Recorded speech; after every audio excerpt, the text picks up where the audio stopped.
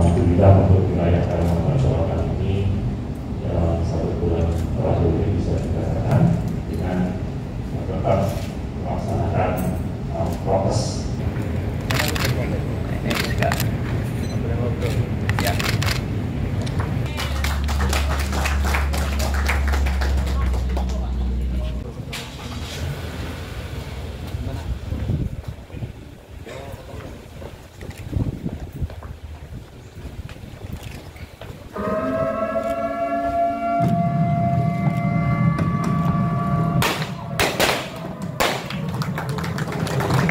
Baik, Bapak Ibu sekalian, Pak Ketua, izin ini adalah mobil kita, mobil kita SKCK keliling yang mungkin sudah berjalan di Masjid Mudadin, Banjarmasin dan ini diinovasikan kembali eh, selain keliling sesuai dengan jadwal yang sudah ditentukan, kita juga bisa dipanggil Ini adik-adik sangat diperlukan. Contoh kita empat kali kan dimudahin dua kali, ini dua kali. Semuanya menggunakan ini skeptika sebagai calon legislatif. Begitu juga kita bepergian ke mana pun ini sangat memudahkan. Berdua ini kan ada sempat lagi nih. Pasti itu kita bantu.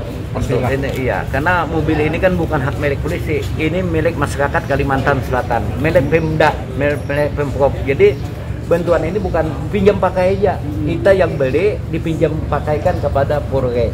Nah Purge pun tidak bisa memindah ke mana-mana, jadi seolah-olah tetap milik Pemda. Nah, ini pasti kita ajukan karena ini sangat memudahkan masyarakat Kalimantan Selatan yang tidak lagi menyusahkan datang ke Polda pakai biaya apa Ini kita jemput pula.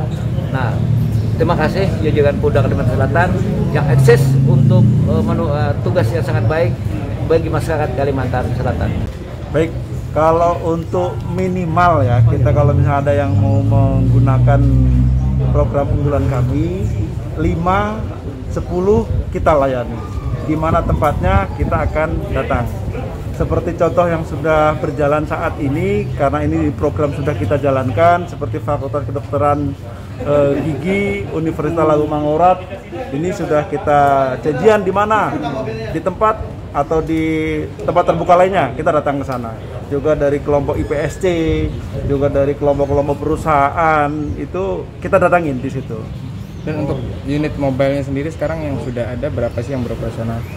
untuk mobil yang ada itu satu saja satu saja karena ini adalah program unggulan kita menjawab tantangan di masa pandemi dan menjadikan polisi Direktorat Intelkam presisi sesuai dengan kebijakan Bapak Kapolri